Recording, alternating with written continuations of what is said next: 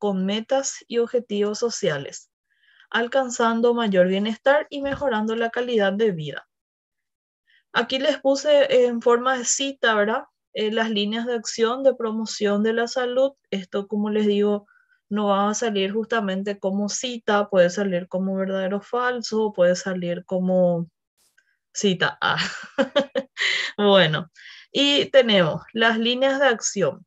Una de las líneas de acción es la elaboración de una política pública sana, creación de ambientes favorables reforzamiento de la acción comunitaria, desarrollo de las aptitudes personales y reorientación de los servicios sanitarios. De todas estas líneas de acción, también se les puede pedir que expliquen con sus propias palabras qué es para mí en promoción de la salud que haya una elaboración de una política pública saludable, ¿verdad? Entonces yo voy explicando ahí que el gobierno debe de tener... Em, debe de manejar acciones, eh, hacer, realizar cosas, ¿verdad? Que tengan que ver con la mejora de la salud pública en general. Como por ejemplo, uno de ellos es el siguiente punto, la siguiente línea, que es la creación de ambientes favorables. ¿Cuáles son los ambientes favorables que podemos tener? Son las plazas, eh, los ¿cómo se llaman estas? Eh, el cuidado del medio ambiente eh, tiene un nombre. Prof, isso inclui academias que fazem ao ar livre? Sí, exactamente. Eh, ¿Cómo se...? Em, acá en Paraguay hay poco. Ahí justamente el, del otro lado del, de Estrella del Este está este lugar que está protegido, ah, eh, protección de los, de los espacios verdes.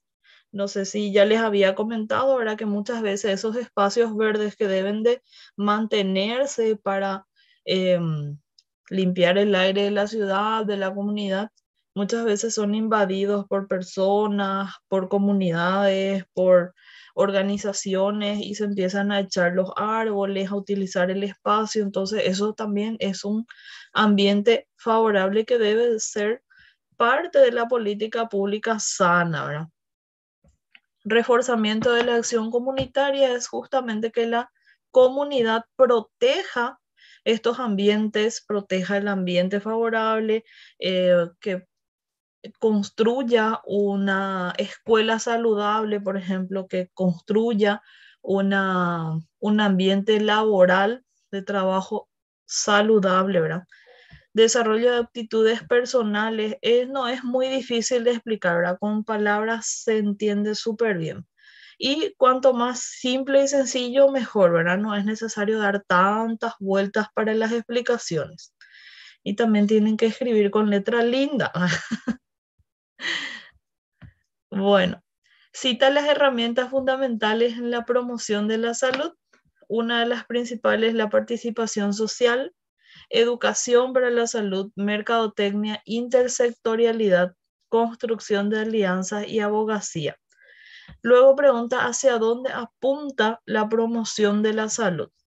Apunta a disminuir los riesgos, a mejorar las condiciones de vida de una población, apunta hacia los mecanismos de decisión colectiva y producción de decisiones sociales, apunta a la transformación de los procesos individuales de toma de decisión para lograr que sean favorables. Todos los días las personas de la comunidad, eh, todas las personas toman decisiones, ¿verdad? Y debemos de estar constantemente em, enviando mensajes. Ya en una de las clases vamos a dar también eh, medios de comunicación en la promoción de la salud, ¿verdad? ¿Cuáles son los medios de comunicación?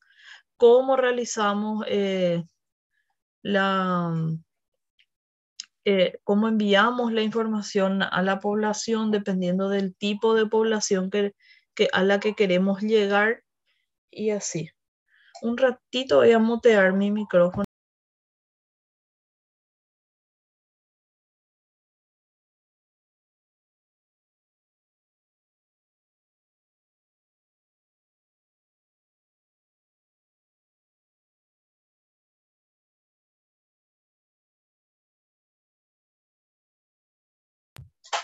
Bueno, ya volví, discúlpenme, tuve un, una interrupción acá.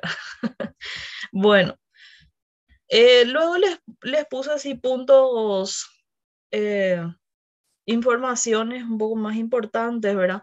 Como por ejemplo en el número 7 dice, la prevención empieza con personas que están sanas. La promoción de la salud se interesa más allá de los estilos de vida, que incluye un nivel adecuado de vida, buenas condiciones de trabajo, educación y actividad física, descanso y recreación. Estos puntos, eh, por ejemplo, aquí habla acerca de la prevención y la diferencia que hay de prevención y promoción. Entonces se pueden eh, colocar en el examen eh, un cuadro de la diferencia entre promoción y prevención o también puede ser si esto es verdadero o falso, ¿verdad?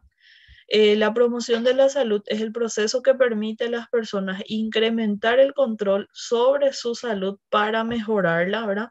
¿Esto es verdadero o es falso? Todo lo que yo les pongo acá es verdadero, ¿verdad? O sea, em, no crean que acá ya hay así algunas modificaciones. Todo esto es relacionado, o sea, es la copia fiel de los archivos que, que tenemos de los libros y em, algunos, algunas guías de promoción de la salud. También tenemos algunos temas acerca de, los, de las conferencias internacionales, ¿verdad? Asimismo, tal y cual yo copié acá.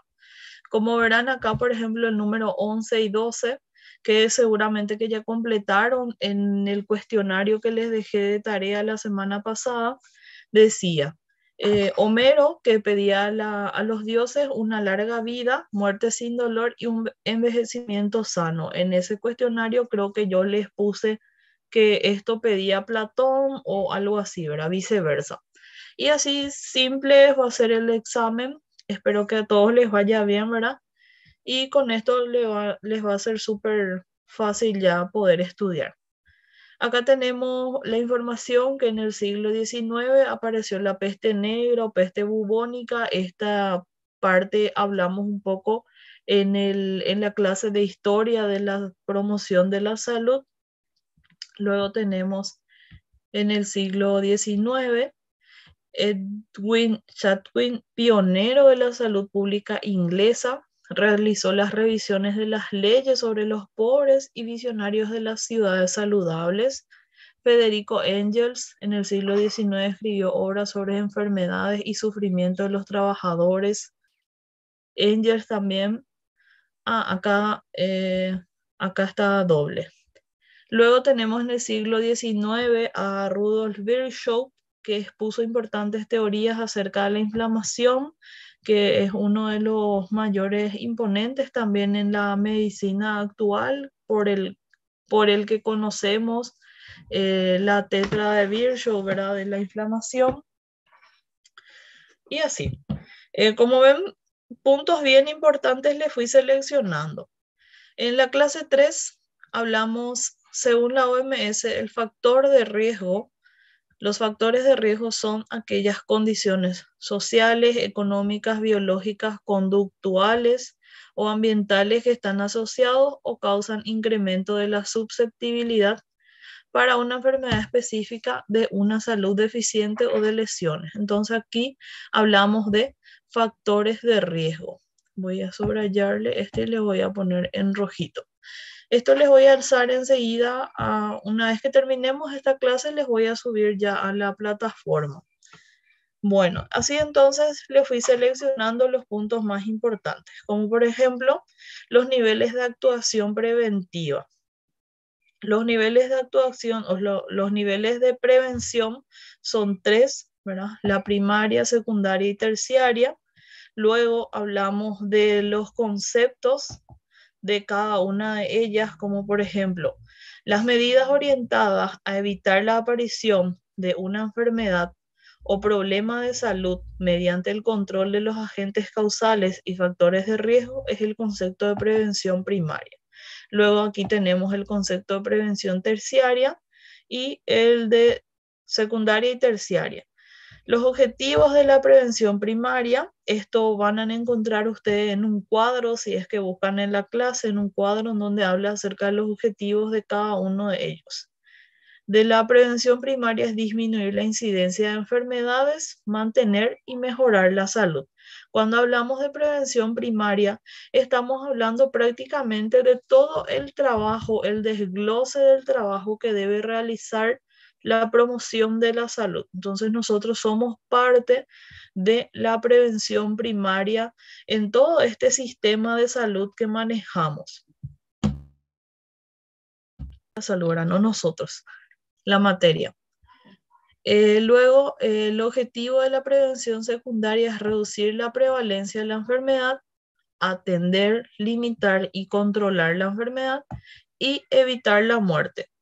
Y el de la prevención terciaria es mejorar la calidad de vida de las personas que ya están enfermas, refuncionalizar y vitalizar. Refuncionalizar, por ejemplo, si un paciente ya perdió un miembro, eh, está en silla de ruedas, volver a incluirle a esa persona a la sociedad, eh, todo eso influye la promoción de la salud. Eh, hacer que existan los medios necesarios para su eh, movimiento, ¿verdad? Muchas veces se encuentran con unas eh, trabas arquitectónicas en la ciudad por, por, lo que no pueden, por ejemplo, subir y bajar de ciertos lugares, porque no hay rampas o, o, hay rampas, pero están las rampas mal ubicadas o mal construidas, ¿verdad? Todo eso forma parte también de la prevención terciaria. Bueno, la promoción de la salud forma parte de la prevención primaria, sí, como les dije, y las actividades son, por ejemplo, educación para la salud, control de crecimiento y desarrollo pre y postnatal, mejoramiento del ingreso económico. Entonces, estos son puntos que se pueden, eh, son muy manejables. Yo puedo eh, poner como verdadero falso o ahora tenemos esos métodos de dejar los espacios en blanco e ir completando, ¿verdad? Entonces así pueden ir ustedes realizando el examen.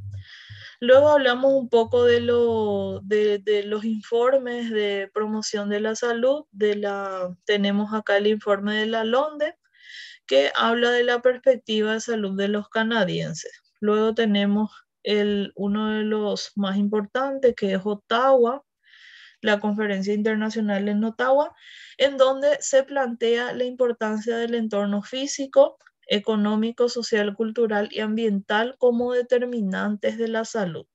A medida que va avanzando, esto, cada conferencia va tomando ciertos puntos en el que se deberían de trabajar para mejorar la salud de la población.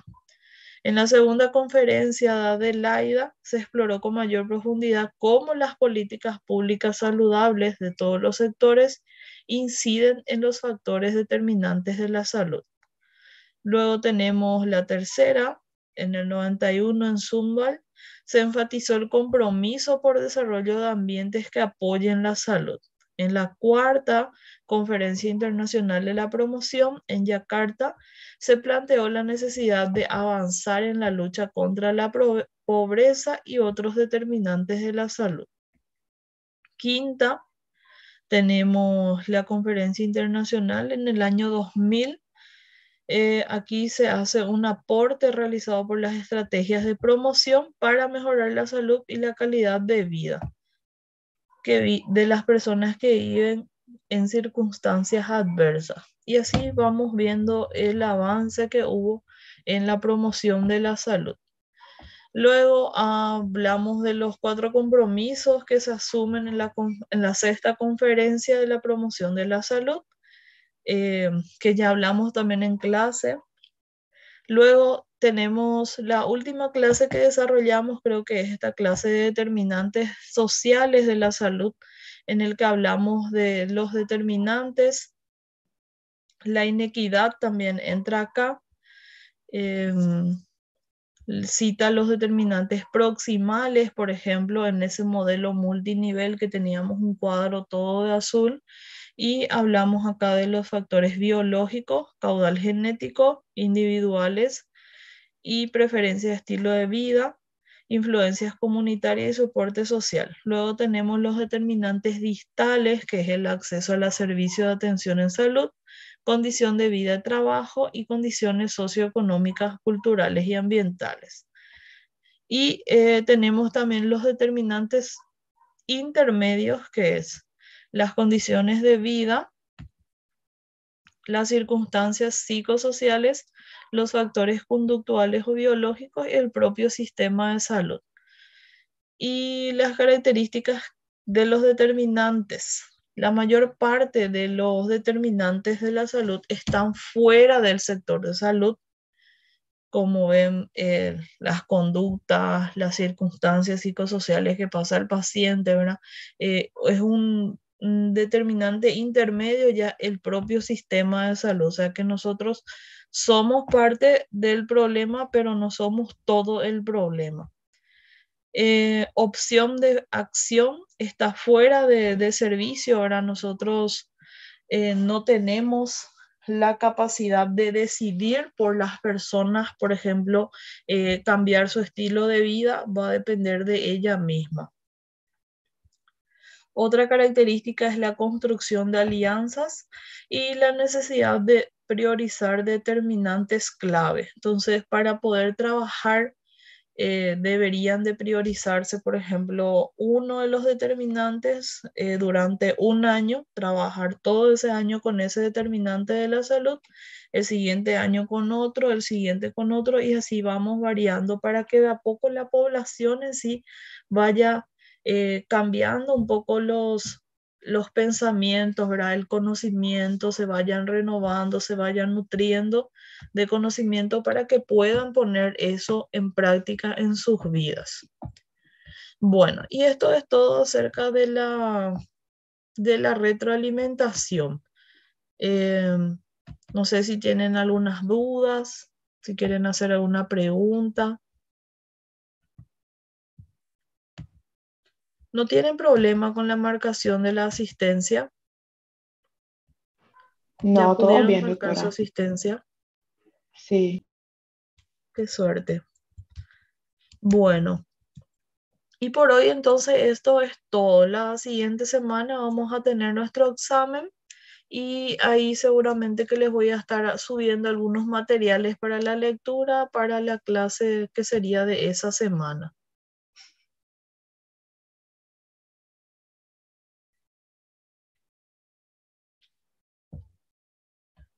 Bueno, marquen su asistencia y nos vemos, el grupo que mañana tiene Anatopato conmigo, nos vemos en el laboratorio.